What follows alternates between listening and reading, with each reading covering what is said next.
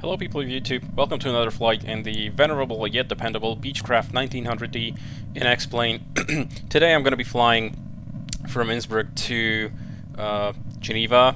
It's an interesting route, it's not too far, about 260 nautical miles, and uh, we're going to be taking a full complement of passengers aboard. So if we have a look over on the loadout, we're going to be carrying about 3,800 pounds of payload that corresponds to approximately uh, 19 passengers at about 200 pounds a passenger, which includes, of course, the passenger and the baggage. And I calculated the uh, fuel requirement is going to be 2,100 pounds. So if we hop over here into the flight planning and uh, examine the route, you can see we're starting over at Innsbruck. The uh, I'm going to be looking at the weather shortly.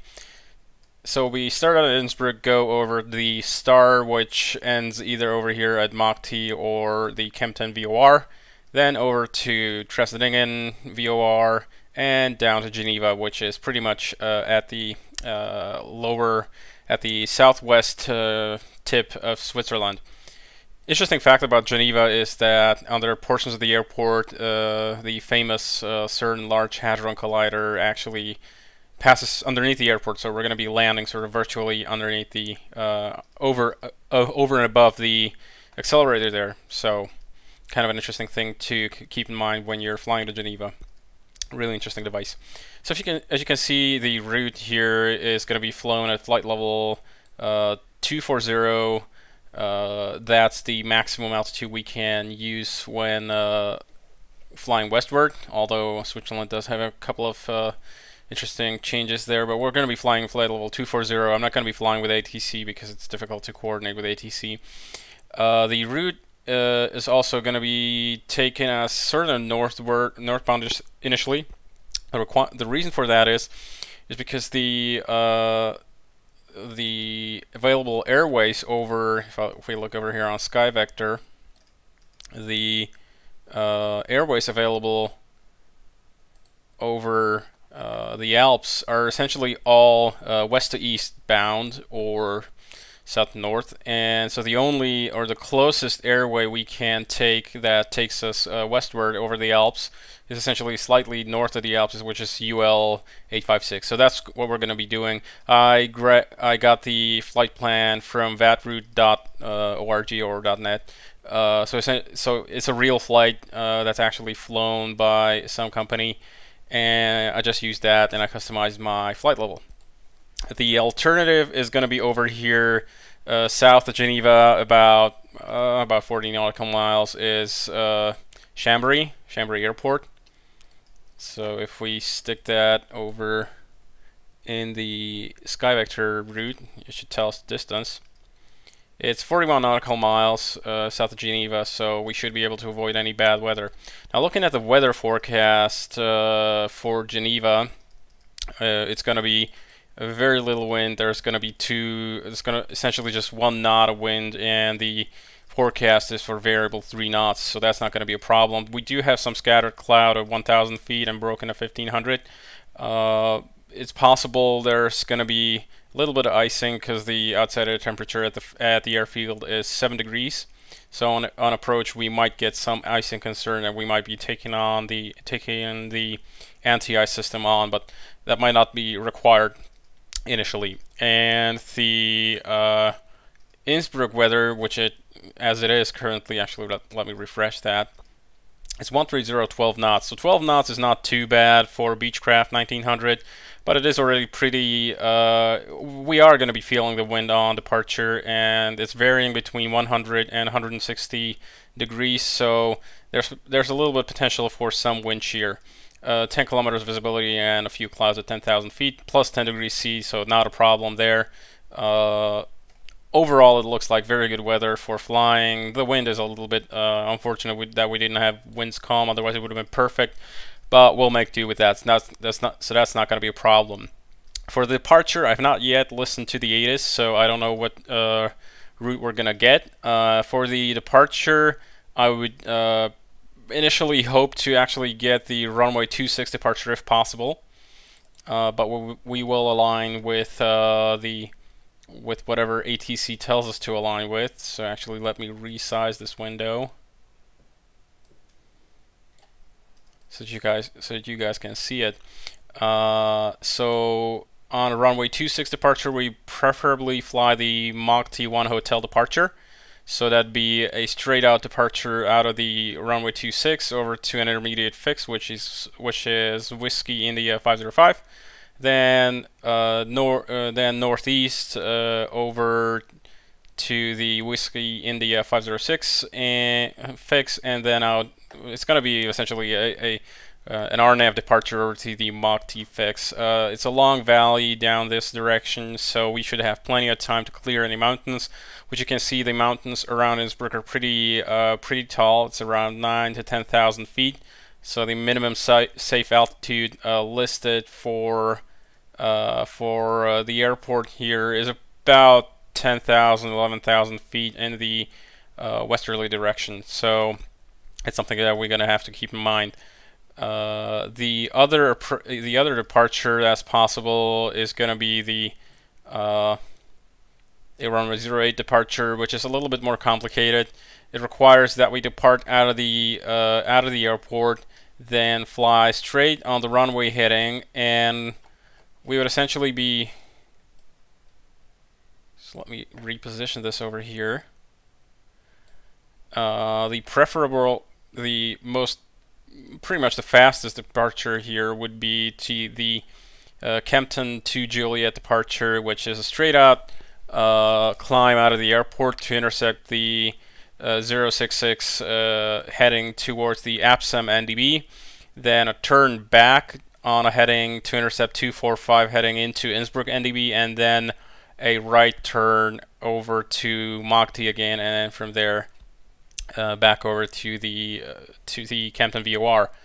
Uh, preferably, we would like the 26 run, runway 26 departure just in order to make sure that we're not uh, flying some crazy donuts around the airport and inside of that valley in that valley while climbing because it's going to be a pretty high workload situation. But overall, we will adapt to whatever the uh, ATIS tells us we should do.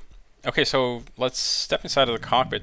I've already, as you can see, I loaded the passengers, I loaded fuel. I've, uh, I've cleared out the uh, static elements, so the uh, hazard cones, the the, the the wheel chocks, and of course the the plugs for for the uh, turbine inlets and exhausts, uh, and the uh, and the propellers are uh, not tied down anymore, so they could freewheel. So we want to jump in and get the engine started as soon as practically possible, make sure we don't get windmilling of the propellers. The, the noise you can hear is actually wind going through the turbines. They do uh, freewheel a li little bit inside.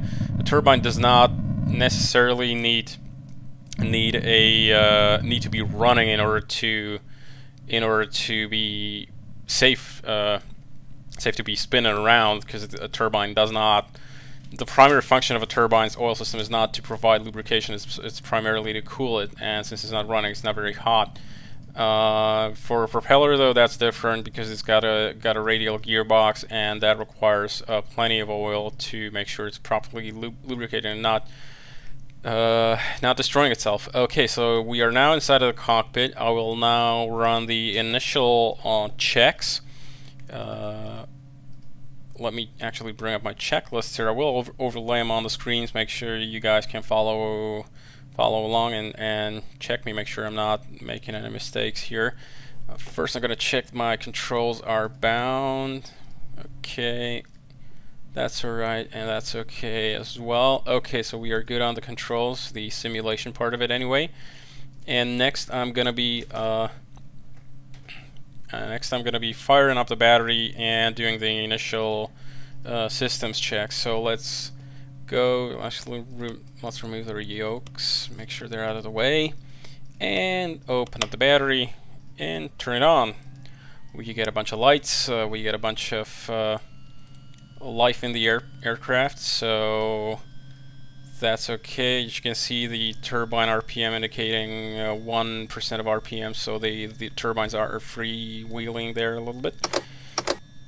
And let's bring on the lights. Since we have the lights on, and now we can start going through checks. So my flow the way I do my flows is I start over here on the master annunciator panel and then I sort of work my way down over here to the uh, systems checks and the environmental uh, environmental modes.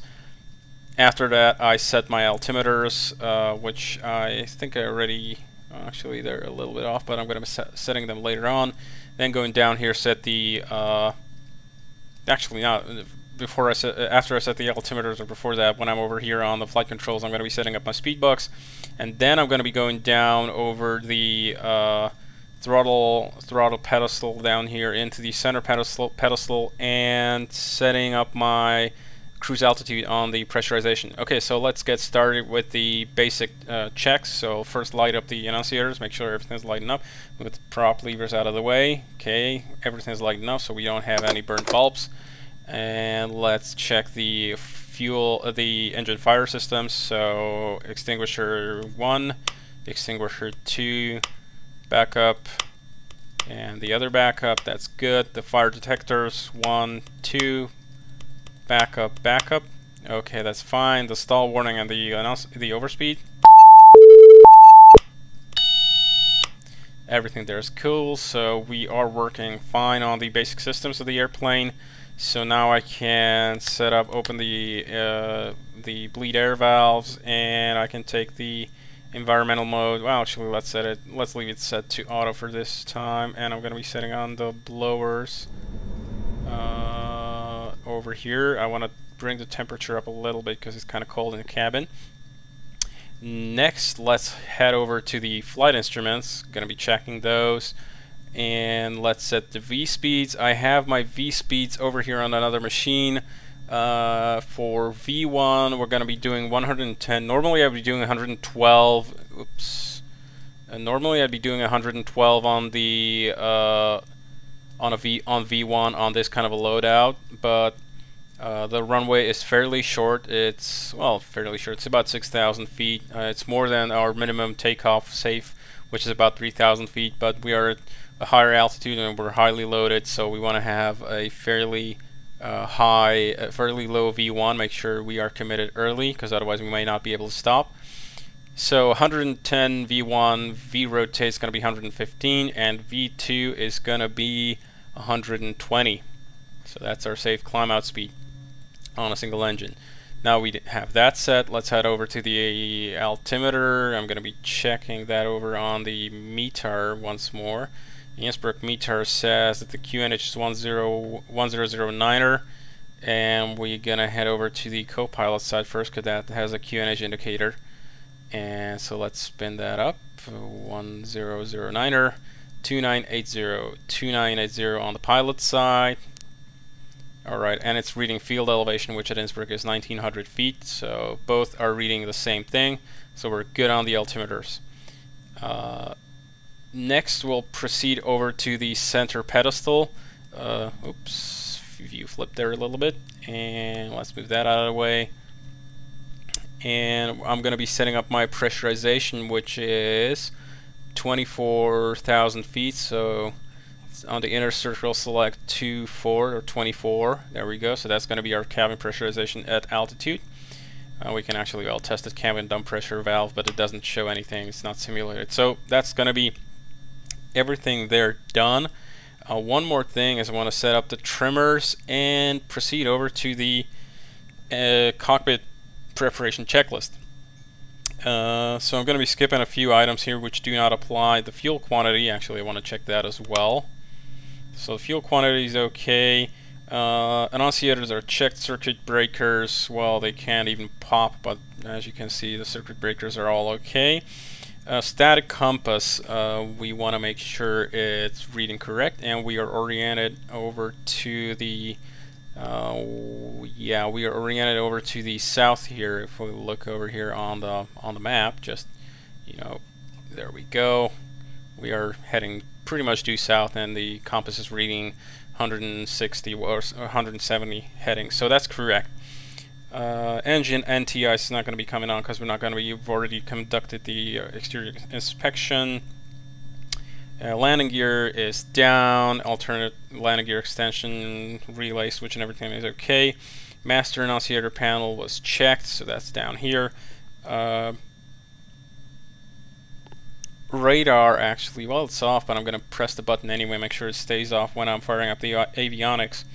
Uh, power levers are idle, uh, prop levers are fully forward, condition is cut off, uh, so that's fine. Trimmers are now set, stall warning is tested, battery is to come off for an exterior inspection, but I've already done that, so that's fine, I can skip that item. And we're to be heading over straight over to the before start checklist. So, for the before start checklist, I think I've already completed all the items on the before start items, so actually it's pretty warm outside, 10 degrees C, so it's to be a cozy flight for the airplane. Hopefully we're not to be too cold and not lacking performance there. So, uh, for the before start checklist, the procedure starts actually one more thing. Fasten seatbelt signs over on the overhead, make sure they are up. And so, uh, going to be setting the uh, cabin, so the battery cabin size is set, pressurization is set, bleed air valves are open, and uh, altimeters are set and cross-checked. That's correct. Takeoff data is set, so that's checked. Um, departure briefing, as I said, we're going to be listening to the ATIS. Actually, let me do that now before I complete the checklist because we we're not going to be starting uh, engines up over here on the uh, ramp because that's kind of dangerous. Uh, you wouldn't want to do that.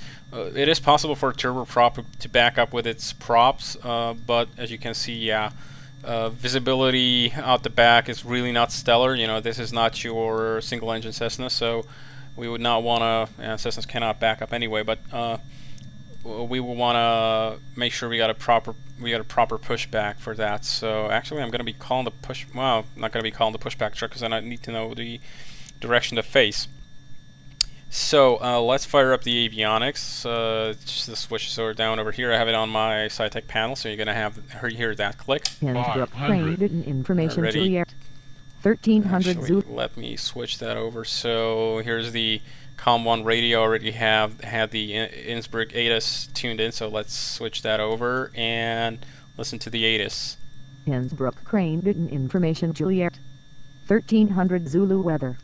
Sky conditions 6500 scattered 30,000 scattered visibility more than 10.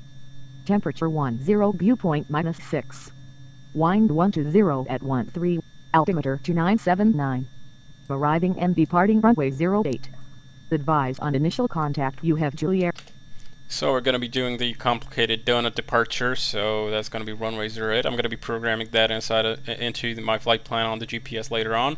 For now, let's turn off the uh, avionics master because we don't need the avionics and they drain a lot of juice. So, and continue with the before start checklist. So altimeter's takeoff data set. Departure briefing is going to be runway 08. Let's bring up the chart again. Uh, I'm going to be picking the Kempten 2 Juliet departure, so it's going to be straight out, uh, in intercept uh, the 66 heading into Absam NDB, and turn back into the Innsbruck NDB on heading 245 and then over to Mach T and over to Kempten 2 Juliet. The standard uh, GNS 530 GPS system, uh, the real one actually, uh, does have departure procedures. You can set that up manually. Uh, sorry, you can set that up to have the GPS follow your depart a file departure route. Uh, the X-Plane one does not have that feature, so we're going to be programmed that in by hand eh, by individual fixes, but that's going to be a problem. I already have the main flight route stored inside of the GPS, so that's not going to take a lot of time. So the departure briefing is complete. Cargo and passenger doors now need to be closed, so kind of be closing these guys and watch the master annunciator over here. They should turn off. Okay, so these doors are now secure. Cargo and passenger doors closed. Tail bar is removed from where we didn't even attach it. Uh, startup clearance. As I said, I'm not going to be running ATC, so I'm going to clear myself. And we need to turn on the nav lights and the beacon lights. So that's okay. Uh, for before starting, actually, I'm going to be calling the pushback truck. I'm using the uh, basic ground services plugin uh, for for X-Plane. So we're going to be pushing back eh, about let's say about 52 meters. I don't remember the exact number here at Innsbruck let's say 53 meters and I'm gonna be rotating no nose right 9 degrees. So let's call the pushback truck. I have the parking brake set. So the pushback truck's gonna attach and ask us to detach uh, to turn off the parking brake. So here it comes.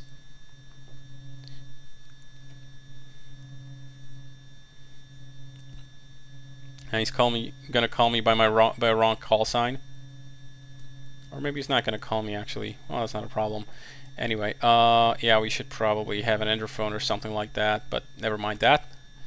So we are pretty much uh, ready on the engine start, so I'm going to be pushing back first, and then I'm going to be starting the engines.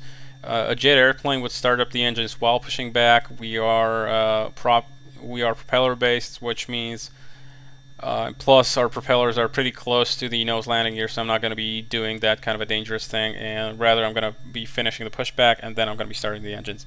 So parking brake off, and let's start a pushback. So we already starting to push back. Uh, we got the nav and the beacon lights going, so everybody knows to step away from the airplane.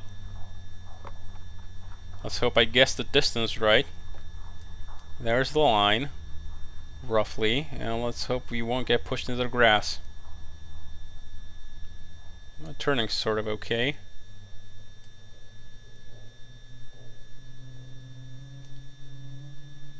Wow, I got it bang on, it appears. Okay, parking brake is set. Pushback dismissed.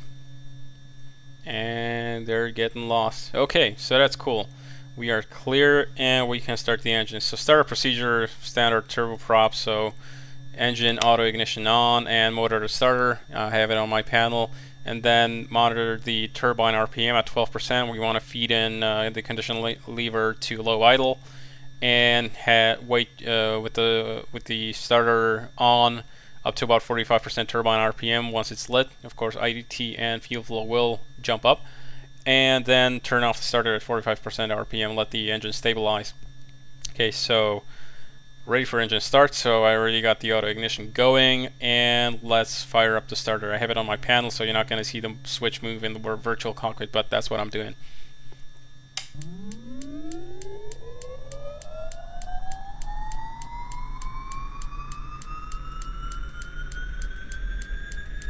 12% low idle,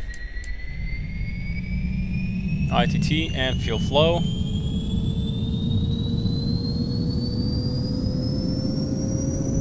And there's 45%, let the engine stabilize. Engine is stable, so prop coming up. Let's move the condition lever to high idle. Okay, I'm gonna turn off the ignition for now, and I'm also gonna be turning on the right generator and the right AC inverter. Make sure we get uh, we can do cross start. So we are we have volts on the DC on the generator. We have volts on the inverter. Okay, so that's cool. And let me uh, turn the volume down of the airplane a little bit because I can't hear myself and then I'm going to be starting the left engine so once that's done we can turn on the left auto ignition left starter and everything the same again for the left engine or engine number one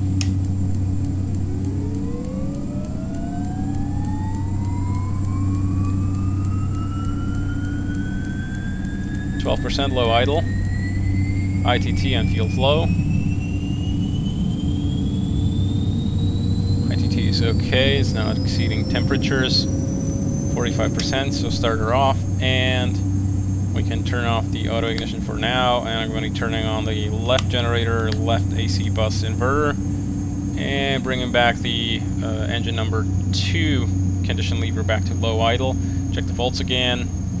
We have good volts on the left generator. Both inverters are giving uh, good loads and good volts, so we are good on the engine start, so let's fire up the avionics again.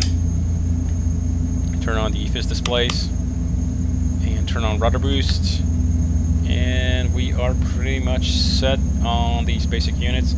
Also be turning on the pitot heat and we can also turn on the stall warning heat in case we were to need it on climb. Okay, so now that we have that all set up, I'm going to be setting up the initial heading here on the... Uh, actually, I need to program the GPS now, huh, don't I? Should have done that at the gate. So flight plan over here, delete the flight plan. I'm going to be jumping over here in my stored flight plans. And we want to go, there we go, that's Innsbruck to Geneva. And well, I already have the departure here, so that's not going to be a problem. Check that, LOWI, Absam, Innsbruck. So no need, to program the flight plan in here. That's a good thing. Setting up the initial heading here on the uh, flight director, so we're going to be departing on heading 79, which is runway heading. Uh, the course uh, is gonna I'm gonna be setting that over to the initial course to the NDB to Absam NDB. Heading uh, altitude, I'm gonna be clearing myself initially to 11,000 feet. So altitude select vertical speed plus 1800. That's what I sort of like to do on an initial departure. Fire up the uh, transponder that's warming up, and we're gonna be bringing on TCAS once we take the runway. Uh, but battery is charging uh, and auto feather we need to test that so check the auto feather system hold it down in the test position for a moment look for two enunciations and a drop in prop RPM so we are good we can auto feather and we're gonna be bringing the props back to feather position to test the manual feathering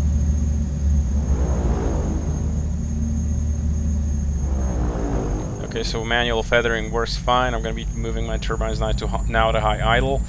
Auto feather is coming into the arm position, and the uh, the environmental mode. Well, for now we're going to be setting it to off, and that's red. Now we are ready for taxi, but I need to complete the taxi checklist before taxi checklist. So inverters are inverters are checked. Uh, that's fine.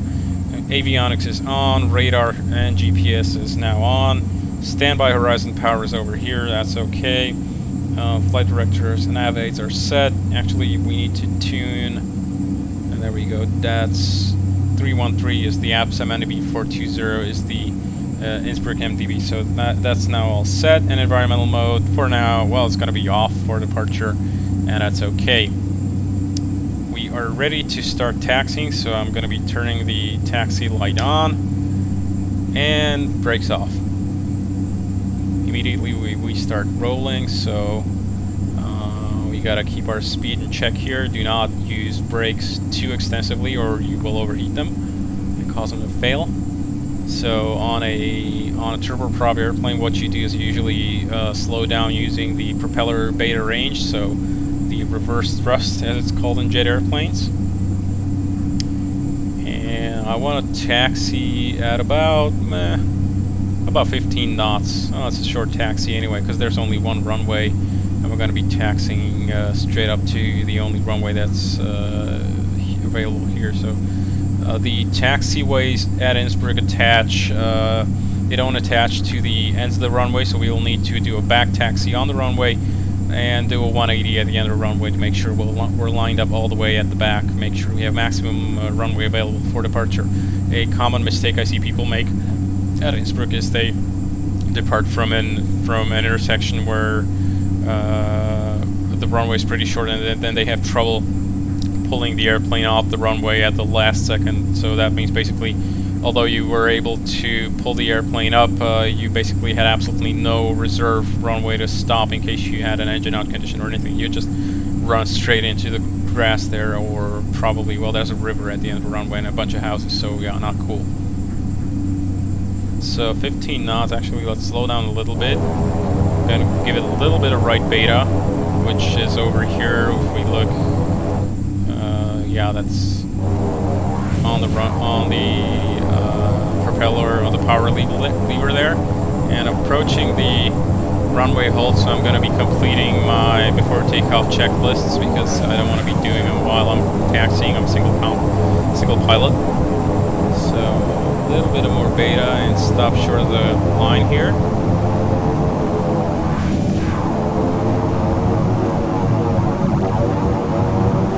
Okay, so on the brakes. And the before takeoff checklist. So engine and flight instruments, actually let's turn on the yokes again. So engine and flight instruments are checked. We have no flags here. That's not a flag there. Uh, auto feather is armed. Manual feathering was performed flight controls check. So, paint a square with the yoke. I'm using a modified Saitek yoke here. I'm going to be explaining that later on in the flight uh, because the default yoke, the, the way the yoke came uh, from Saitek was kind of crap. So rudder, full left, full right, neutral, that's cool. So flight rudder is okay, flight controls check, flaps, actually flaps coming down over the approach flaps. Trimmers are checked. I'm going to be setting a little higher. Uh, EGPWS test is not simulated, so we cannot do that. And takeoff data is uh, 110 V1, 115 V rotate, and V2 is going to be 120. Flight director is turned on. Okay, so we can take these yokes away, and let's. That's the before takeoff checklist 2, align complete. Let's taxi out onto the runway, so I'm going to be taking on the lights and the strobe lights and landing lights. Actually, we can also take on the tail flood. And turning on the transponder so that people can see us when we're on the runway and the TCAS system. So now we're going to be taxiing, let me walk you over that. We're going to be taxiing left here to the end of the runway, which is about a few hundred feet, uh, a few hundred yards actually, down that way, and then turning back to face in that direction. So the approach sector there is clear, nothing's coming our way. Actually, we'll check the other direction as well. Yeah, runway's empty. And let's taxi over onto here. Turning a little bit, keeping a little bit left of the center line so that I can make a turnaround, a 180. And I'm gonna be completing the rest of the before start before takeoff checklist. So the auto ignitions are going to be coming up for now. I'm going to be turning off the uh, bleed air valves. Uh, auto ignition is off. Engine anti-ice is off. Pitot heat is on. Propeller levers are fully forward. Uh, transponder and TCAS is on and coded. And bleed air valves are off. Annunciators are good. Two whites and two, two greens, and the rest is okay. The battery is still charging up we we ran a little bit on the battery a lot and the exterior lights are on so we are good for the uh, before takeoff checklist and now I'm gonna be uh, coming over here to the uh, run-up point and doing a 180 so watching my speed 13 knots I'm gonna be applying a little bit of beta here to arrest that speed up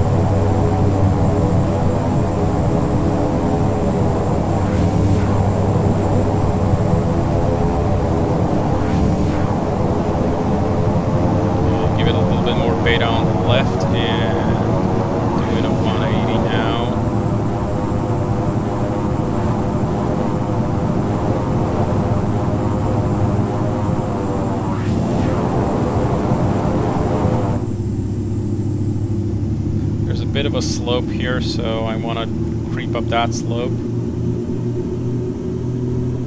Make sure we're all lined up. Okay. We're up the slope. Okay, we're lined up and ready to go. So I'm going to be doing a rolling takeoff. So do, do not over torque. So lined up and let's add power. We want to add power up to the 3,500 3, foot-pound mark. It's gonna start going right now, nosing up a little bit and light on the front wheel, so I need to correct a lot with my rudder. I'm going almost at full deflection here. That's the wind. 80 knots.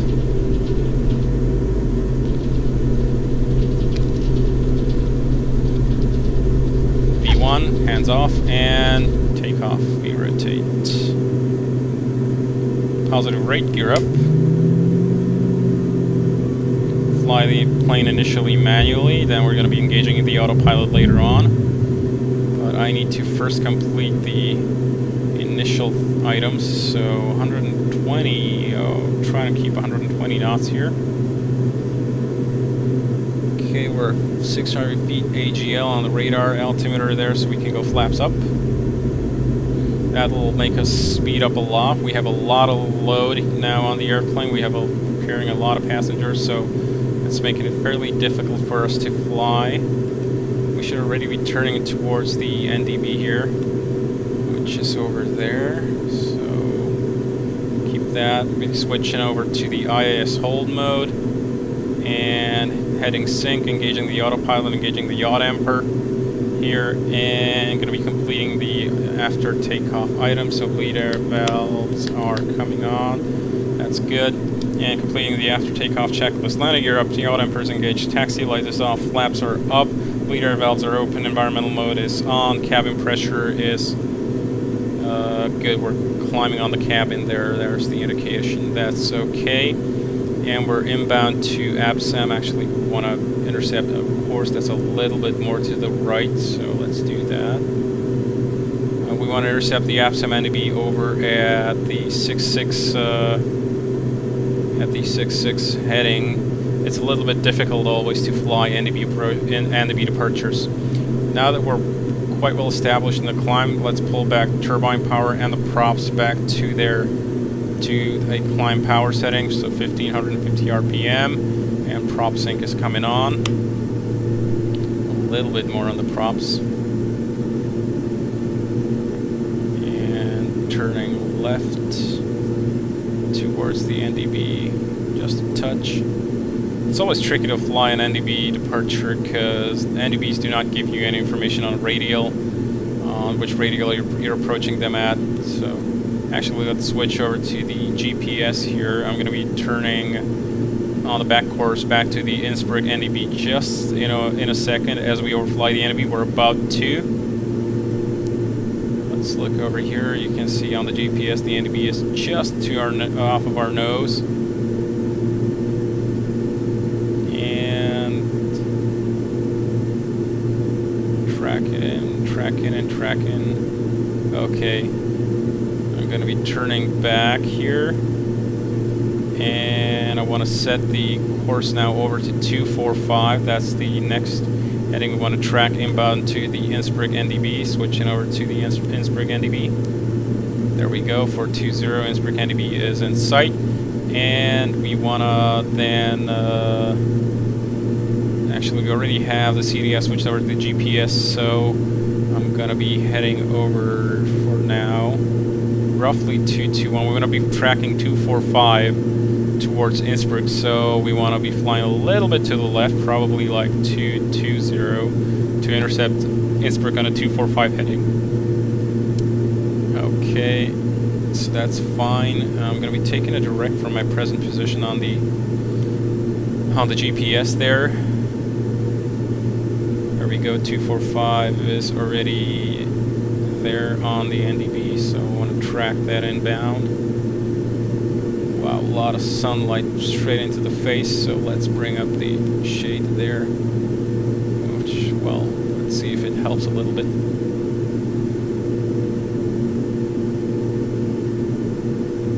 Okay. Let's take a second to direct here and switch over to the GPS source And there we go inbound to the NDB on pretty much a 245 heading. Uh, you got to keep in mind NDBs are not super precision, so um, we're doing our best here. So whatever, guys, you know, lay off me. Increasing the power now because we are already pretty high up and the air is thinning out, so we can increase that.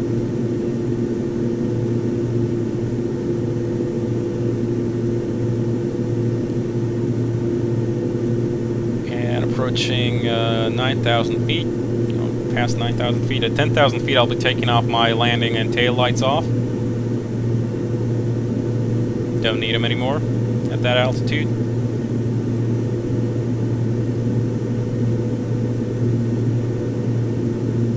There we go, Innsbruck NDB passed, and we want to go now over to Mach T. So the inbound heading to Mach T is 288, so I'm going to be setting that over on the CDI needle. 288, there we And I'll be syncing up the heading, coming up on 10,000 feet. 10,000 feet, landing lights off, tail flood coming off. We already got the altitude alert going at uh, 11,000 feet. I I'll, I'll, I'll say to myself that we are already at transition altitude. I think the transition altitude is already is, is 11,000 feet anyway, so yeah. I didn't check that, so that's a mistake. Should have checked what the transition altitude is uh, over here.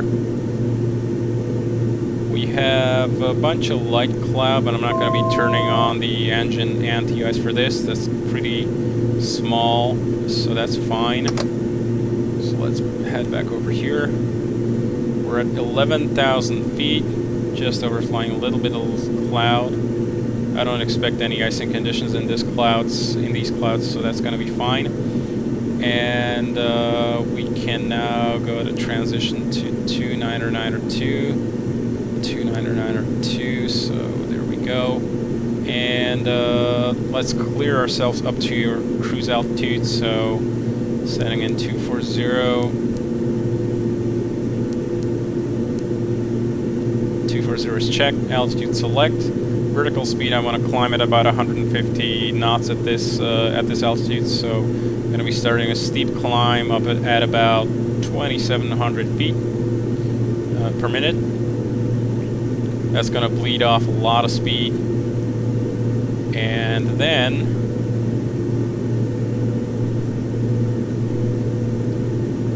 once we hit 150 knots, I'll be engaging IAS hold on the on the autopilot. Make sure we're keeping the speed with the pitch.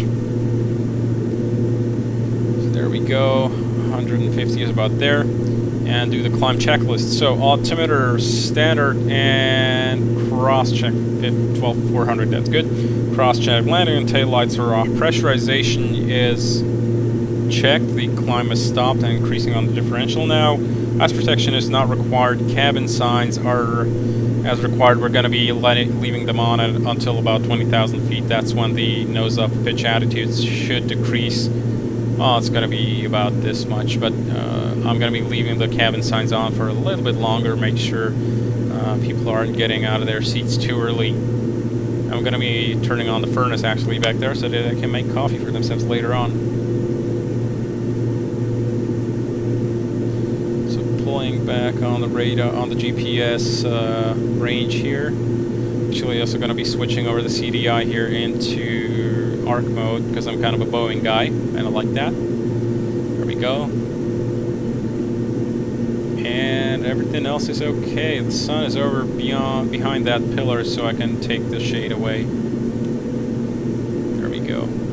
Actually, let's put it away like that. There we go. Okay out of shades out of my eyes, and we can continue the climb. Uh, and we should probably increase power again, make sure we're climbing at maximum power. Because otherwise our climb speed is going to decrease. We were back down to about a thousand feet per minute. That just means we're going to waste a bunch of time at low altitudes. While we're here, actually, I'm going to be checking uh, so we're past the Innsbruck NDB. I'm going to be setting in the Kempten MDB uh, VOR in the nav1 radio. Make sure I can cross-check this position, position using the uh, the nav needle over here. So I don't know the VOR frequency by heart, but but fortunately the Garmin here has a function where you can just spin the inner knob all the way to hard right stop, then spin the inner one until you find the nearest VOR, and we should be able to find KPT is over there and it's a frequency of 109.6 so we should jump over here 109.6 and switch it over we have KPT distance 38 nautical miles and if I switch this thing over back to VORs it's showing the direction towards towards the VOR so we are happy now increase the power a little bit more I'm going to stay at 3,500 pounds to get maximum climb performance. Uh, we are pretty heavy, so uh, the climb is going to be long, but we should be able to still do about 600 feet per minute over at 240. Okay, so let's spin this back. Actually, let's spin this over here and go back to nearest airport. The reason why you have the the these sort of pages here is to give you uh, the, the rightmost page is the emergency sort of navigation page. So if you are if you encounter an emergency situation, you don't need to think about how, how close I am to the nearest airport or anything. You don't need to, you know, look at charts while you're very busy flying the airport. Just grab the big knob down here, spin it to a hard right stop, and uh, here we are at the nearest airport page. And it says that uh, it tells you what the airport, uh, what the nearest airports are, their bearing, their distance, and their uh, longest runway. So if we for example, have an engine failure now, we would want to turn back to Innsbruck on a heading of, on a bearing of 105, 17 nautical miles. Actually, jump down here now, 17.7 nautical miles, because it has 6,500 foot uh, runway with, with ILS uh, procedures available. Uh, anything else is just too short for us. We need about 3,000 feet to land, so 6,500 feet at Innsbruck is okay. So that's sort of the, the purpose of that page. Um, got the climb checklist out of the way, and coming up next on the cruise checklist, I'm just looking down here on my machine, and we can bump the power up a little more. Actually, now we're at full turbine RPM, so that's as fast as we can climb. Uh, we cannot. The engines are now maxed out. At 17,500 feet, I'll be uh, actually at 18,000 feet or 20,000 feet. I'll be taking the cabin signs off. I'm gonna gonna be continuing the climb uh, on from there. Actually, my draw my levers here are oscillating a little bit. That's just a problem with the potentiometer this side. Okay, there we go. Stabilized now. Checking the yeah the the electricals are fine. The battery has stopped recharging, so it's not drawing any current anymore and the loads on these generators are below 50%, which is good. So should we lose a generator, we will not be over 100% load. Actually, we want to slow down now a little bit. 115 knots is already pretty high at this point, 100, 220 knots ground speed. Uh, and the airplane will not be able to climb very fast now, so we want to slow down to about 140, 135 knots in order to maintain maximum climb performance. So going to be taking it up to about 1800 feet on vertical speed. Let the speed bleed off a little bit and then re-engage IAS mode once I've hit 135-ish, 140 knots.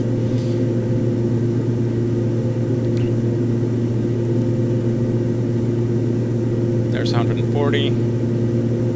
Actually, we're already at max trim up, and that's the way the autopilot controls the pitch, so the nose is going to oscillate now a little bit.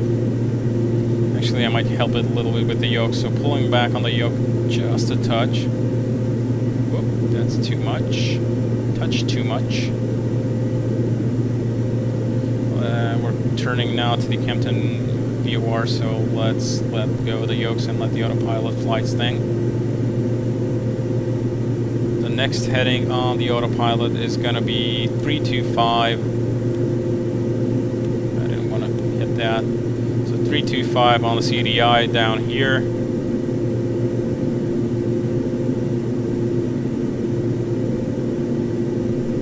And heading sync. So if we need to, we can re-engage. Uh, we can re-engage heading mode without uh, rolling about.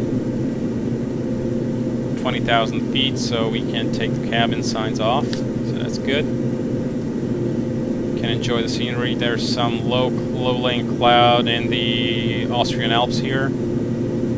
So that would definitely be uh, icing conditions down there because it's fog or something. And the outside air temperature, well, at ground levels at Innsbruck it was plus 10 degrees C, but uh, the outside obviously at altitude above the ground there we would probably be around 0 degrees Celsius, so you would definitely expect icing in these, flying down in these low clouds. So let's check the condition uh, over here. So we're 21,000, level 2212, continuing the climb. I'm still doing about a thousand uh, feet per minute, which is great. Actually, I'm kind of surprised that we're still able to do this kind of a high climb rate.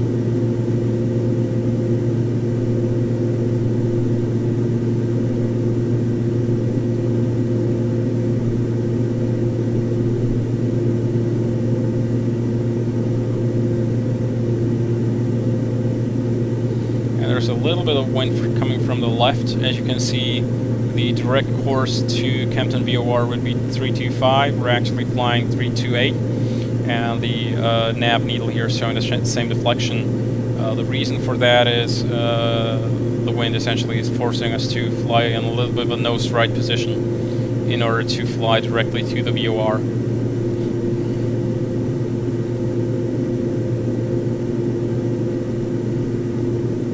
I already have the uh, the Geneva ATIS tuned in, so as soon as I can hear it, uh, I'm going to be grabbing the ATIS information for Geneva and determining the approach and, and the, the, arrival and the approach for landing there at the airport. I expect, given the current conditions, actually let's check them over here on the internet for once more.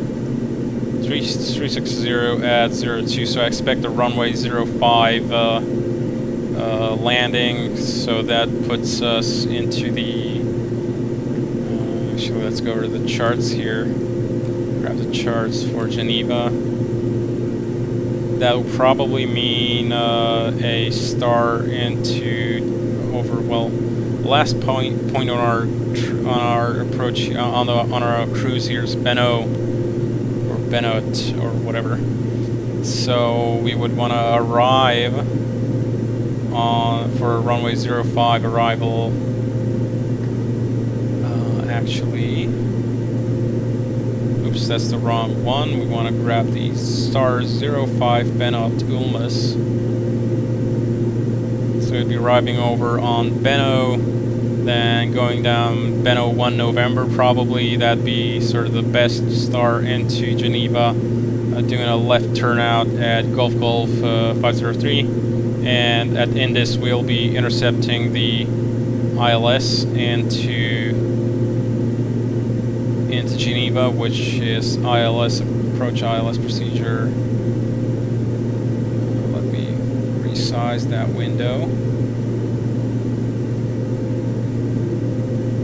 starts over here at Indus and just straight into runway 05 at about 7,000 feet initially and descending straight down from there. Okay, so we're back here, 300 feet to go. That's the altitude alert. And I'm going to be setting this bug over here onto the expected uh, performance, uh, this, the roughly the expected uh, flight envelope from the flight speed, cruise, cruise speed at, a, at, a, at an intermediate power setting.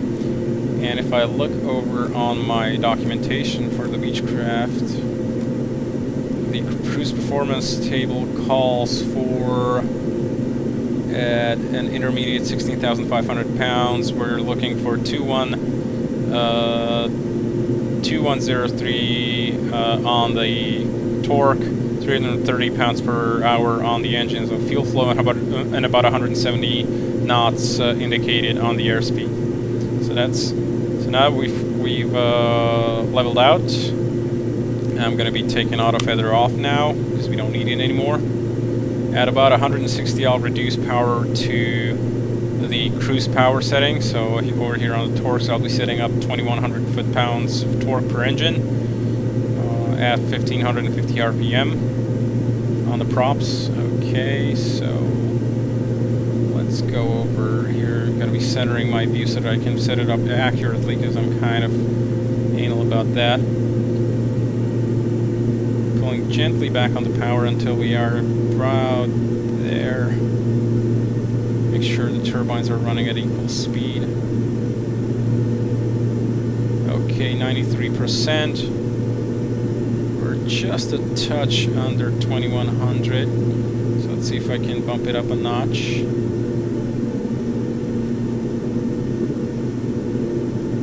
Okay, 39, 93.9, that's good. Fuel flow is about 330 foot uh, pounds per hour, that's good. Everything else is okay, the engine instruments are okay, so I'm going to be doing the cruise checklist now. The cruise checklist is fairly simple. Engine uh, cruise power is set, engine instruments are checked, we just stared at them, auto feather is off, and uh, ice protection is not required. Cruise checklist complete. And we can admire the scenery here.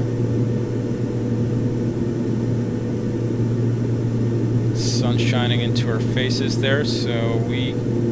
I don't think the, the shade here actually reaches all the way down. Oh, kind of. Yeah, we're able to... Yeah, cool. We can actually get the sunshade at work for us here. Okay. And here we are at the last waypoint of our uh, SID. And after that, it's just a straight cruise over to Geneva. I'll be picking it up later on uh, once we are closer to top of descent. Initially, actually, well, for now I'm going to be planning the. Uh, okay, there we go, turning to the right there. Uh, sorry, to the left. Follow on on the on the Kempten uh, over to Trasadingen, VOR. There's actually a bunch of intermediate uh, waypoints, intersections in between, uh, but I didn't bother programming those into the uh, into the GPS because they're just uh, straight line on a straight line between. If you can look over here on the planning thing, it's just a straight line between uh, between Kempten and between Trasadingen, so no need to programming the rest of the fixes there. Of course, if you were using a full FMS system, it would, it would dump those inside there right away. But the GNS 530 over here in X-Plane does not allow you to specify airways, so I'd have to manually key in all the, inter all the, all the intersections with, for pretty much no good reason. So let's set up the CDI, and it wanted us to set, actually let's 267. So 267 is set. Sync up the heading. We got a little bit of a wind from the right, 2 degrees off to the right on the nose there. Uh, it's about 150, uh, 230 knots ground speed is sort of what I estimated on the on the on the flying here, on my planning here. And uh, with that out of the way, actually, I'm going to be jumping over here quickly to the arrival and just quickly briefing that with you guys And so I want to grab this. Get over here. Charts. And so the star into Geneva. Again, the Benno star. Uh,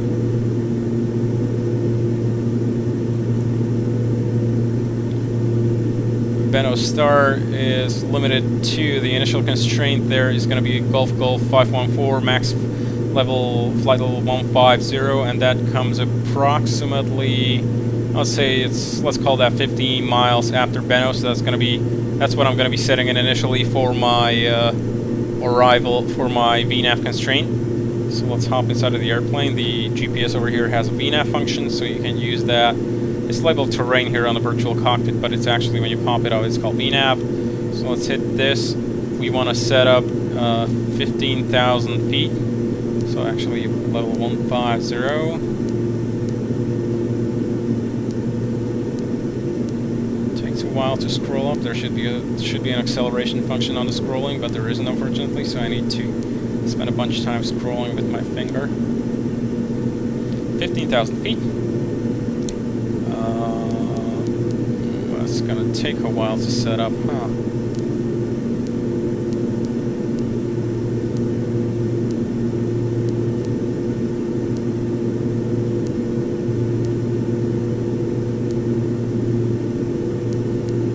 That's going to take a while to set up. So let's end it up 25 uh, nautical miles, actually, like that.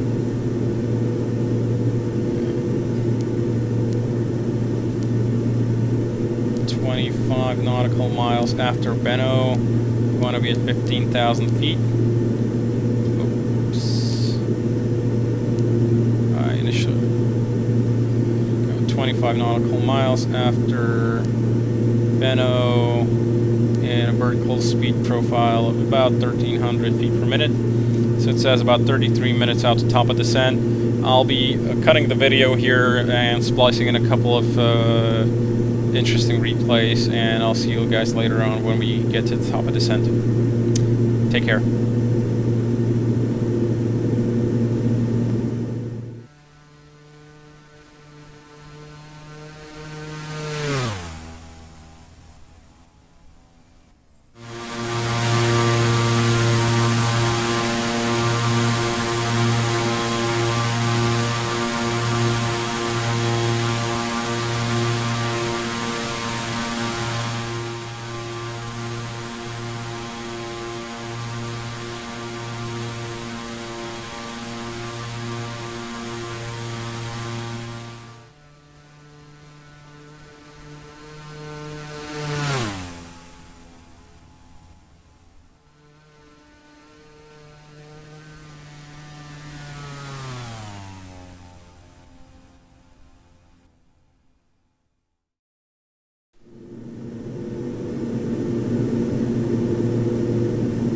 Hello folks and welcome back. Now we're about one minute from the initial intersection on the uh, on the arrival into Geneva, so we are approximately six minutes from top of descent, and I can use that time to walk you through the arrival, the approach, and the landing. So if we have a look at the arrival chart, uh, it starts over here at the Benno fix, at the Benno intersection, and it goes down, we're going to be taking the Benno 1 November arrival, so passing over Nemos, then over Golf Golf 514, which is our initial altitude constraint, uh, 51, uh, flight level 150 or less, then to SOVAD, then to KRAD, then Golf Golf 503, we're going to be doing a, doing a left turnout onto Indus, which has which has an altitude constraint of 7,000 or above. That's when we'll be transitioning to the approach phase of the flight, and as you can see, the approach phase starts over on the Indus uh, fix as well. That's uh, that's a suitable initial approach fix. Uh, it's going to be starting at 7,000 feet uh, MSL, and we'll be intercepting a the glide slope immediately at that point on a heading uh, of uh, 045. That's going to be the approach front course over to land on runway 05 at Geneva. Geneva only has a single air, uh, single runway, which is runway 05 slash 23 and uh, we will be uh, taking the 05 given that the current wind conditions are favor favorable for that. In fact, let's listen to the ATIS and confirm that once again. Airport LSGG information Juliet 1400 Zulu weather. Sky conditions 1500 scattered 3500 scattered 8000 broken visibility more than 10 rain temperature 7 dewpoint 0 wind light and variable altimeter 2979 arriving and departing runway 05. Advise on initial contact you have Juliet. Okay, so we've been given Juliet uh, the current ATIS information at Geneva. Like I said, we're going to be arriving on runway 05, and then uh, after landing, uh, we are probably going to be trying to hit the Delta or Charlie uh, exit off the runway and taxi over onto the either Bravo 1 or Alpha 1 parking stand uh, in between the Link A and Link D uh, parking uh, taxi positions. That's sort of a suitable position for a turboprop air, airplane, and uh, it's it's a suitable arrival terminal for a small small airplane like like ourselves. And uh, if we look over on the approach plate, uh, just to review that quickly, so we have a Category 1 uh, runway 05 approach. the Category 1 limitation is just a limitation on the vertical and horizontal visibility on the at the airport for uh, for an arrival for an approach to be suitable for use, and we're going to be okay. Uh, the visibility currently is fairly favorable, so that's not going to be a problem. We are we've already picked up the uh, ATIS at 135.75. We're not running ATC, so ATC is going to be silent for today. Uh, the localizer frequency already have that set in the uh, nav1 standby frequency, which is 110.900. The final approach course is 045. Uh, glide slope is uh, expected to be distance 4 nautical miles from the INE localizer. We are going to be at 2680 feet AG uh, MSL or 1269 M AGL. We can use that for a cross check. Uh, for the minimums, we're going to be referring down to the minimums table and the airport elevation is at 1411 feet. The minimum safe altitude uh, around the Geneva VOR, which is at the airport, is 7,000 uh, 7, feet MSL, unless we are between the 241 and 002 radials, in which case it's 7,000 feet up to 10 nautical miles, and then further than 10 nautical miles it's going to be 10,600 feet. As you can see, south of the airport, here uh, we are going to be having some, uh, expecting some fairly tall mountains, so uh, if we want to go further than 10 nautical miles from the airport, we're going to have to climb to 10,000 feet in case of a missed approach or any other procedure, 10,600 feet. So, fortunately, we hope not to have to do that. We're going to swoop in uh, right above this mountain range approximately. Then around this point, we're going to be doing a left turn on the star in intercepting the Indus uh, fix and just transitioning straight to the uh, approach. The uh, there's a, a DME and altitude table in case there were a NOTAM out for the glide slope being out of operation. operation. Fortunately, it's not, so we're going to be okay there. Uh, straight, straight approach uh, minimums for uh, runway 05. We are category B, I think, on the airplane, on the approach speeds. So we're going to have a minimum of 200 feet uh, AGL, which we're going to be setting up on the radar altimeter.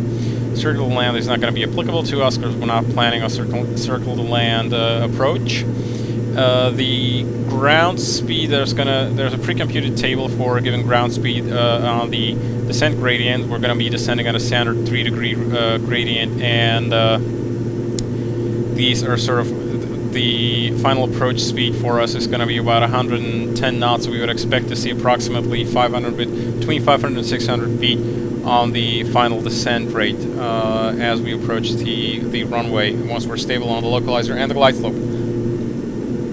I'm just going to consult my critical performance table here for the landing. We're going to be about uh, about 15,500 pounds. in fact, let me check our check our weights here. So we started at 16,500, uh, and we were carrying. Uh, we burned out about 1,000 pounds of fuel, so we're going to be 15,500 on the on the final landing weights there. So that's going to be an approximate approach speed of 112 knots. Uh, so I'm going to be setting up my speed bugs for that. Head, head over here to the uh, to the speed dial. So I'm going to be setting the lower bug to my stall speed, which is about 85 knots. The middle dial, the, the middle bug over to our approach speed is going to be 112 and the safe climb out or V2 speed at 15,500 is approximately uh, about 118 uh, knots so there's going to be our safe climb. Uh, also going to be setting up the minimums here on the radar radar altimeter so let's bring uh, that up wrong window there we go. And bring up the minimums up to 200 landing altitude is going to be, landing elevation is 1400 feet, so let's set that in. There we go, approximately between 1 and 2, so that's going to be the landing altitude. And uh, one more thing I need to check is the... Uh, in fact, what was it that I wanted to check? No, I forgot.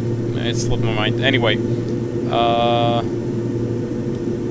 we are supposed to already start the descent, so let's take it down to 15,000, which is going to be the constraint. Altitude select, indicated airspeed hold. In fact, not indicated airspeed, let's go down with vertical speed mode. And let's go down, start the descent at 15, at 1,500 feet per minute.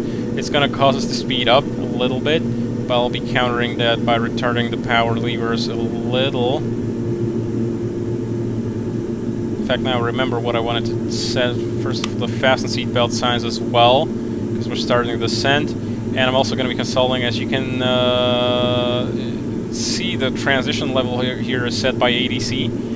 We do not have ATC, and the standard transition altitude is 7,000 feet, so I'm going to be transitioning at uh, approximately 9,000 feet to make sure I can do it before I hit the initial approach fix. Now, the... Uh, let's see what the VNAV thing says. So we are definitely too fast here. Uh, auto ignitions are firing, that's okay.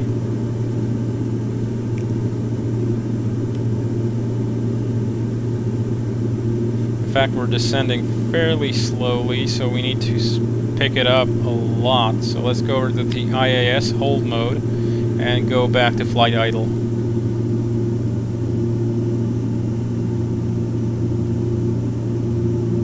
There's approximately flight idle there.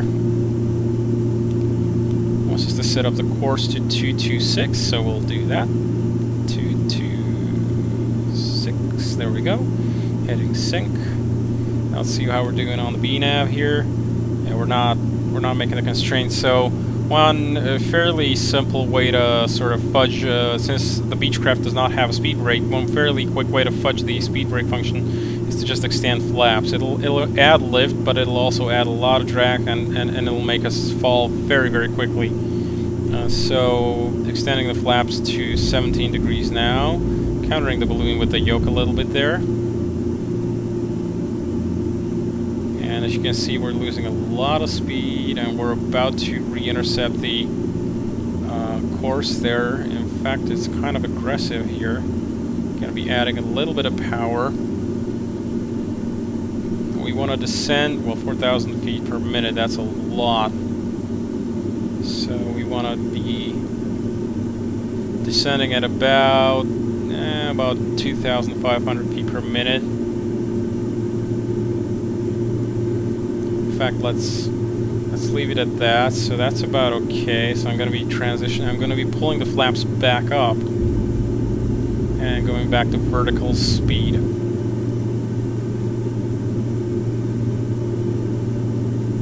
It's a very crude mechanism. Uh, about above 188, we should not be extending uh, laps. So we induced a little bit of an oscillation there in the autopilot. So I'm going to be trying to counter that with the with the yoke.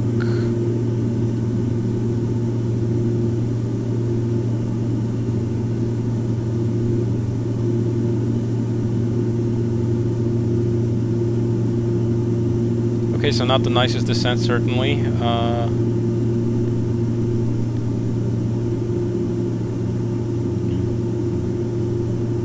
but at least we made the constraint. We're about a minute away, and we are descending at 1,800 feet per minute. 195 indicated. That's alright. Uh, yeah, 250 ground speed. That's we sped up there quite a little bit uh, in the descent here, but that's gonna be alright. Uh, let's pull the nose up a little. It was quite a drastic descent, I, I admit. 1200 feet per minute. Yeah, we should be able to make that constraint.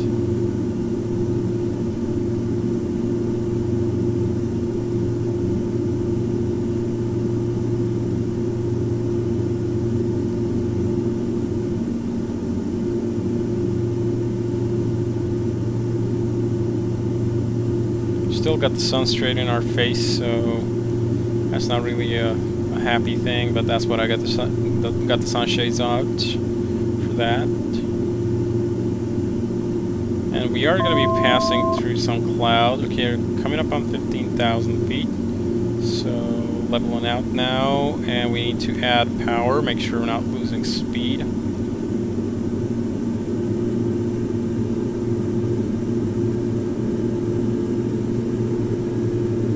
You don't want to be too slow because otherwise you're just holding other other people up. So don't try to make the approach uh, and arrival way too slow, way more slow than it would be required. So next I'm going to be setting up my next constraint, which is going to be 7,000 feet.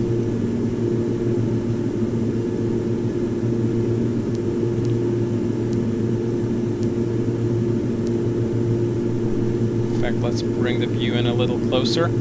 Uh, 7,000 feet, about a mile and a half before the final approach fix, which is going to be Indus, and 1,200 feet per minute. That's about, we're going to be starting the descent in about five minutes, so that's good.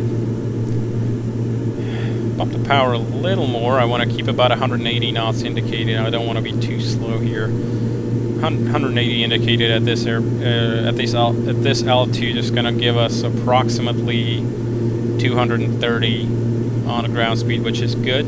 I have the uh, the ILS frequency set into the primary the VOR localizer on standby. So once we are ready to uh, intercept the course on the uh, on the leg towards Indus, I'll be setting that.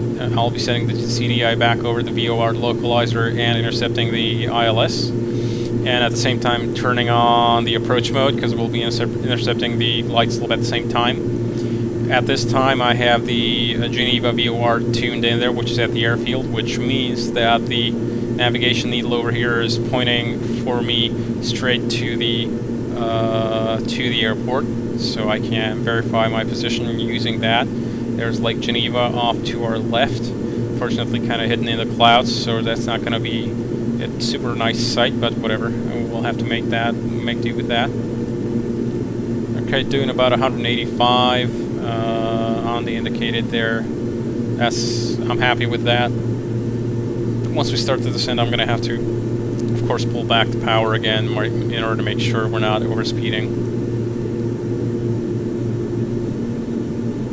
Of course, below uh, 10,000 feet, you are restricted to 250 knots, but given that the, the A Beech, Beech 1900D is barber pole at 250, we don't really need to worry about exceeding that unless we were, of course, prepared to damage the airplane itself. So, yeah, the, the 10,000 foot restriction on the speed there is not going to influence us very much. It's not going to be a big problem for us. And for some reason, it's kind of laggy here. But we are getting close to the uh, descent down to Indus. Remember, we'll be doing the we'll be doing the transition over at level nine or zero. So I'll be now winding this over down to 7,000 in anticipation of the descent. So 7,000 is checked. Actually, I also want to be doing my descent checklist. Kind of forgot about that. So well, we're still sort of in the descent, so that's okay.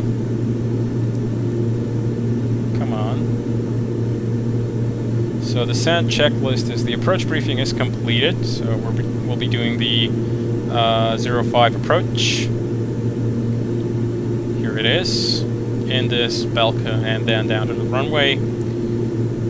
Everything else is set. So approach briefing is completed, landing data is set, we have the V-speed set up, we have the landing pressurization is set and checked. We should have descended by now already inside of the cabin. Yep, the cabin is actually still descending. It's trying to maintain a pressure differential. So that's alright. And we have the cabin signs turned on. That's good. So we are we have completed the descent checklist. Next thing after that's going to be the landing check before landing checklist. I'm going to be executing portions of that starting at the transition level.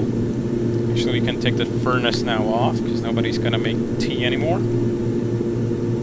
And we should start the descent now. So 7,000, altitude select, and setting the, the, vertical speed mode down to minus 1,200 feet per minute. And retarding the power to about 80 to 81% uh, N1 RPM. So it's going to be sort of okay. We should be able to hold the speed with that we're looking make sure that the VSR speed here, the vertical speed required, is not going up or down. We want to make uh, it stay stable. Let me do one more check on the fuel here. I've turned on the aux pumps so that we are emptying the aux tanks now uh, before we hit the yellow region in the main tank, but we are good there. We've got over, over an hour's worth of fuel, so we'll be fine and we'll be landing in about 15 minutes, so that's not going to be a problem. Coming up to KRAD, uh, VSR is going down, so that means we'll undershoot our uh, point there, but I'm okay with that. Uh, if we level off a little bit ahead of the uh, Indus uh, point, good. I'm okay with that. We We will at least have more time to set things. Outside air temperature, gonna be checking that since I now see we got some clouds out there, minus 17 degrees C, so there's a possibility for icing conditions in these clouds. We may be turning on engine anti-ice and everything, all the anti-ice uh, on as soon as we are about to hit the clouds, but I think we'll just about pass over these guys. Uh, but we'll see about that in a little while. Okay, we're doing about 190 indicated. Uh, I'm going to be tuning over, we, since we got the airport firmly behind our backs, I'm going to be tuning over the uh, VOR to the localizer. Alright, we have localizer, INE. In fact, we can confirm that with the audio. So let me bring up the approach chart and listen to the audio, check the audio code, the Morse code.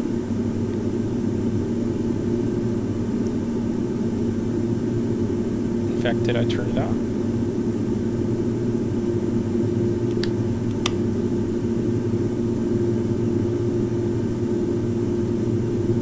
Not giving. There appears to be some sort of a bug here. It's not giving me any audio, but it is identified on the local on the GPS there, so we should be fine. Which means the GPS receiver is able to hear the localizer's identifier. Alright, passing just above that cloud layer. There's a second cloud layer below that. We will want to make sure we're not... Uh, yeah, when we're passing through the lower cloud layer, we'll want to make sure that we have an anti-ice running or going. I don't think we will be able to avoid clouds on this descent here. Okay.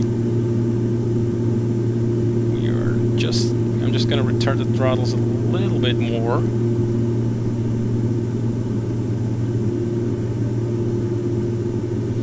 We don't want to go below flight idle, which is about here In fact, it's marked over there. Uh, the the reason is that if we do that and we had auto feather enabled, if we retarded the throttle back over and lifted it over a hump here into the ground idle position, it would turn auto feather off, and that will that'll result in if we lose a prop, uh, we might not get it feathered right away, lose an engine. Going to create a bunch of drag and a bunch of problems. So I'm going to be starting on the items now. So auto feather is armed. Uh, I'm going to be taking the environmental mode to off again because we don't need uh, any more power draw here. And I'm going to be setting in the uh,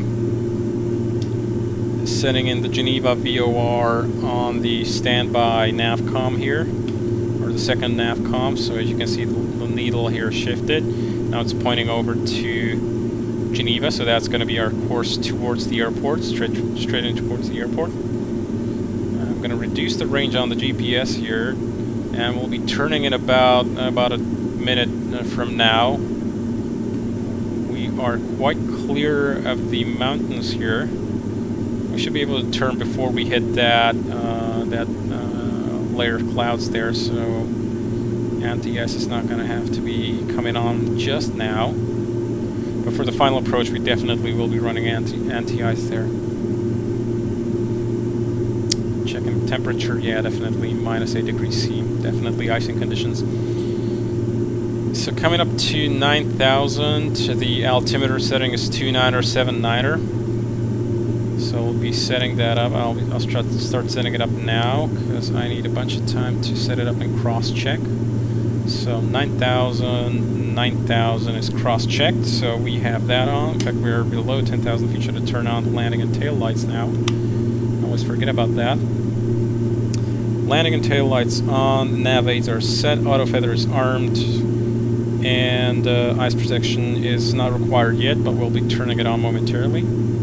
Okay, we are now turning towards the Indus fix. VNAV says that we're gonna yeah, we should be able to make it. So we're about doing about 190 knots indicating. I'm going to be returning a little bit more on the power. I want to start slowing down to 180 on the approach. Uh, once we are stabilized here, I'll uh, switch over to heading mode and start intercepting the localizer.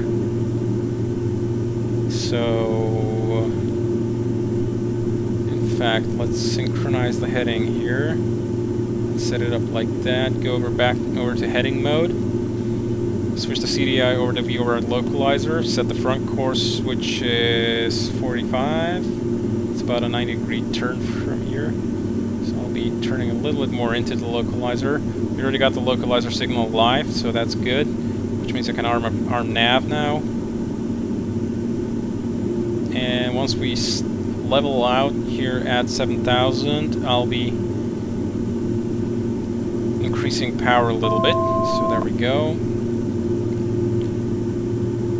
I'm going to be jumping around with my view here a little bit, uh, guys. Bear, just bear with me. I'm going to pack this away and out of the way. Because it's just in my way. 7,000 feet. Localizer is alive. Localizer captured. So we're turning into it now. And we already got the glide slope here. So arm and approach, and we, we are starting down on the descent path there. So back down on the power. Going in fact going to be pulling back power to flight idle here. Let's see, Geneva's over there. We are, in fact, I should start my procedure. I already have that programmed in, so activate the approach. Uh, in fact, I want to skip in this now.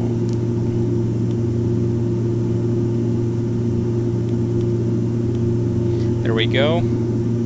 So we'll be intercepting Belka. Okay. Increasing a little bit on the power and dropping the approach flaps. I'm countering the balloon with my yoke.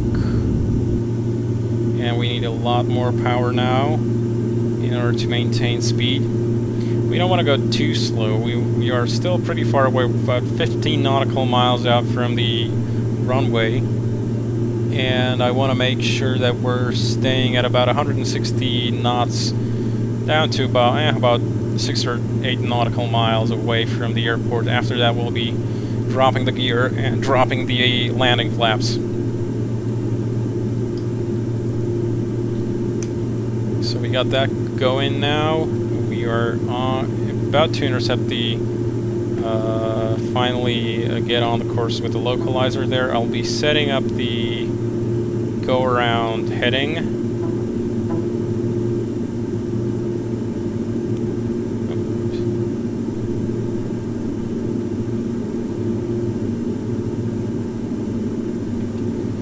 Okay, I got sort of uncertain here whether my USB connection just died. Yeah, we're good. I was worrying I might lose the controls here. Okay, so we're 11 miles out. I'm going to be uh, skipping the landing gear and the flaps and the taxi light on the approach checklist. Now is the time to turn off prop sync and push the power prop levers fully forward so we get maximum power for approach. Uh, yaw damper is coming off, and uh, go around data is 7,000. The missed approach is 7,000, and straight out climb. We have LNAV on the GPS, so the GPS is tracking our landing here in the lateral direction. The vertical guidance is provided by the ILS on the ground. I can already see the airfield ahead of us in the midst of a lot of housing. Uh, we don't need anti-ice now anymore. It's 0 degrees C. There's fairly little cloud, really not much. Uh, I do not expect any ice buildup. Uh, I'll be cycling the de-icing boots once just to make sure.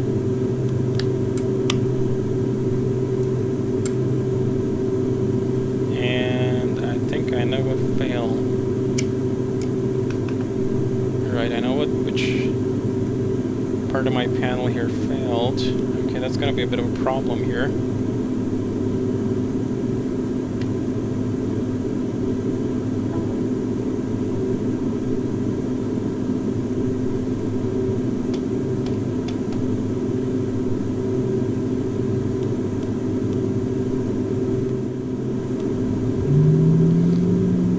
Right, had a little bit of a hiccup there. Uh, we uh, I lost the panel here. I lost my Saitek panel, so I'm going to have do most of these things manually from here. I can't use my physical panel now.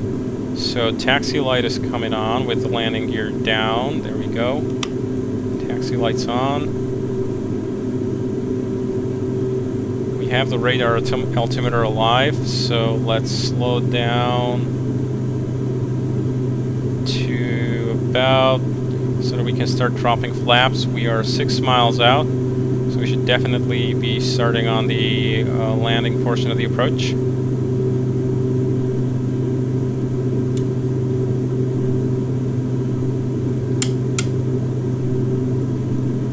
Yeah, my panel is definitely dead. So approach flaps, sorry, landing flaps, and complete the checklist.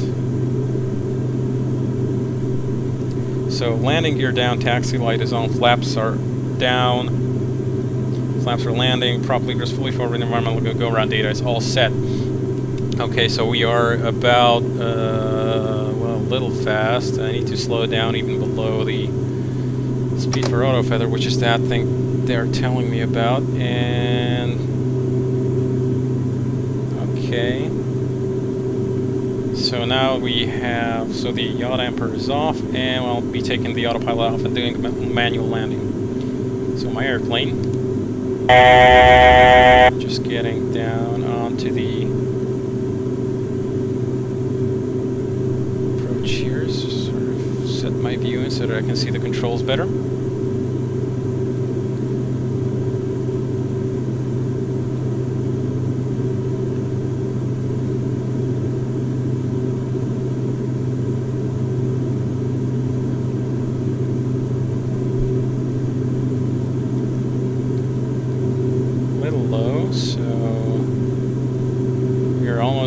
At the reference speed, so we're good there. I'm just using very minute inputs into the yoke.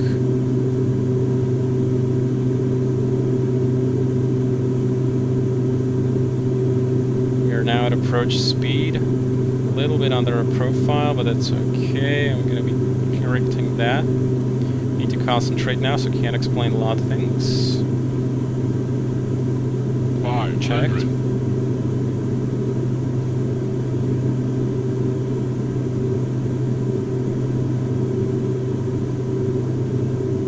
little to the right still. I feel we got we got a little bit of wind from the left. Okay. Stabilized Minimums. Landing. Now a little to the right.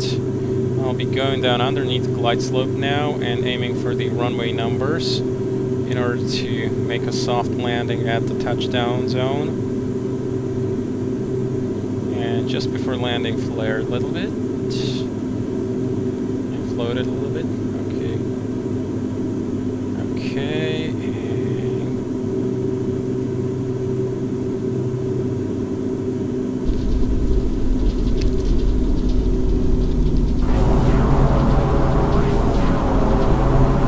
Two hundred five feet per minute. That's an okay landing, I guess. And of course, the hesitation on ground loading for no apparent reason.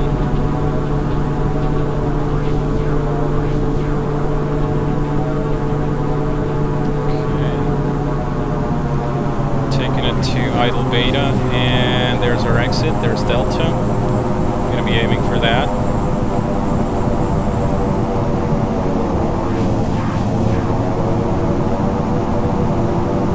Give a little bit more on the right so that we start the turn.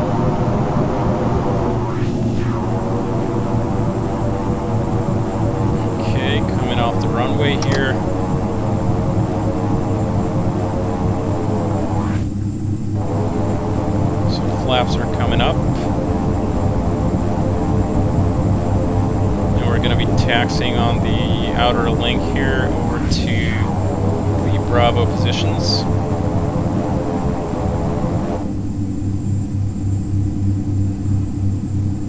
There we go, so landing lights coming off.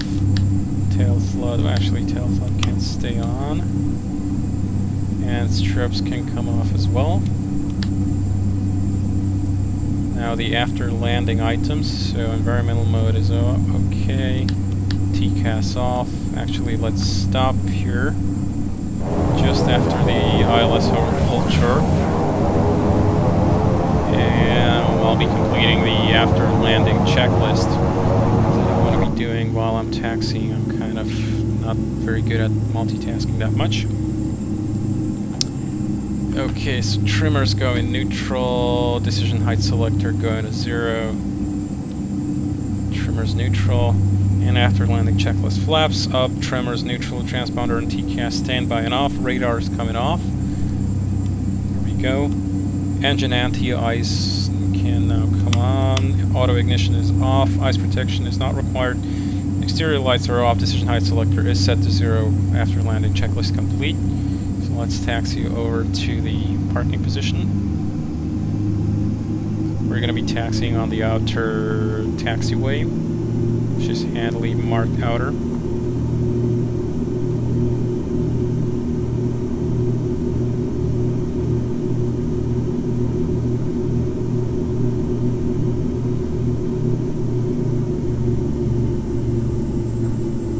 There's a slight bend over here, so let's follow that. I'm just using my feet right now to steer. The rest of it I'm going to be using, uh, for hard turns I'm also using my throttle my power levers. So either increase engine RPM, increase engine power, or use a little bit of beta to uh, get to the place you want to be.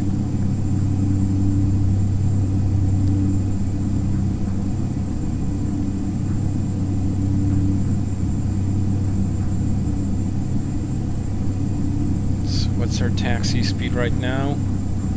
12 and a half knots, that's alright. I don't want to speed too far too fast along a taxiway.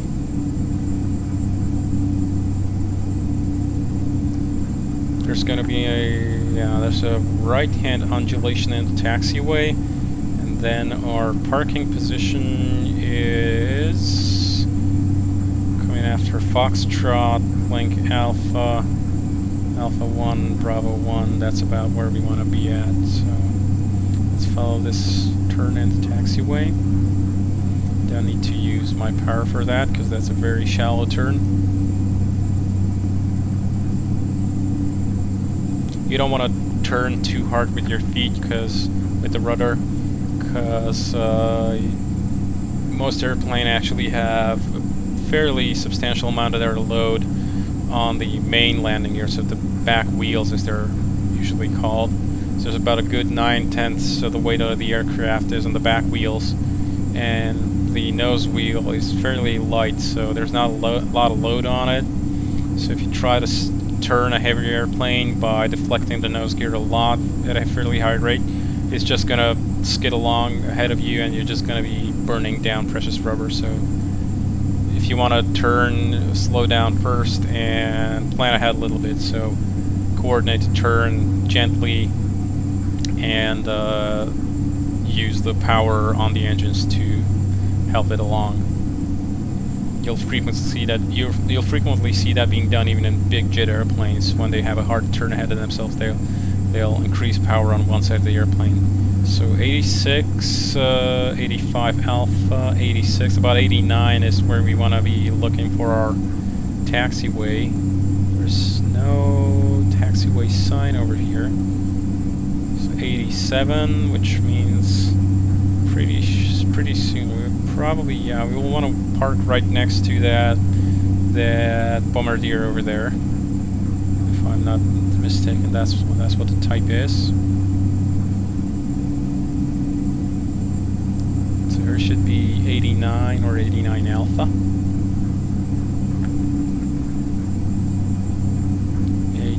89 Delta, 89 Alpha Bravo Charlie, and a1 to A5, so we want to go B1 over here and putting in a little bit of beta. That's the exit we want to take off the taxiway.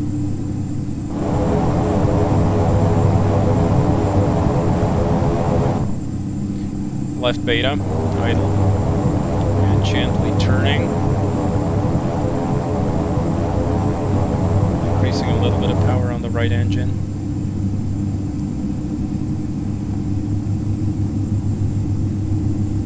So I'll turn off the taxi light because we don't need that anymore. And left turn here. Be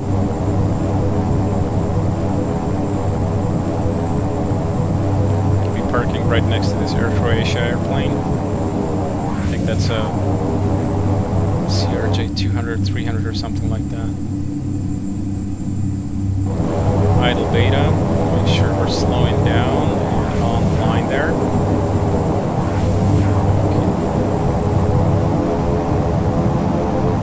brake set. Actually, let's set the parking brake.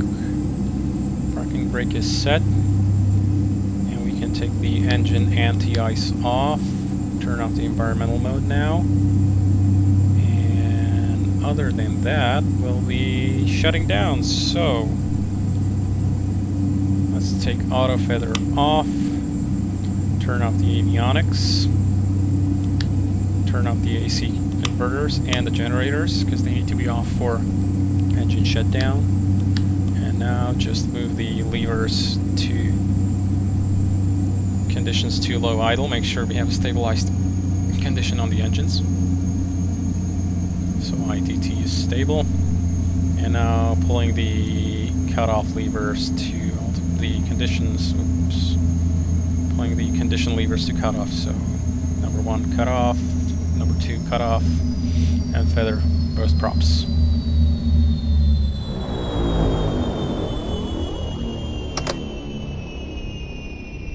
We can close the bleed air valves now. Turn off rudder boost. Actually, let's turn off the EFIS displays as well.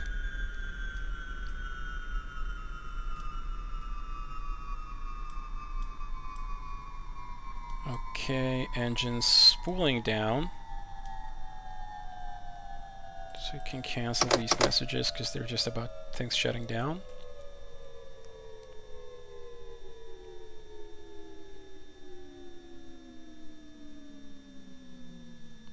And now that we're shut down, we can turn off the beacon, actually turn off the tail flood, fasten seatbelt, and emergency exit lights as well.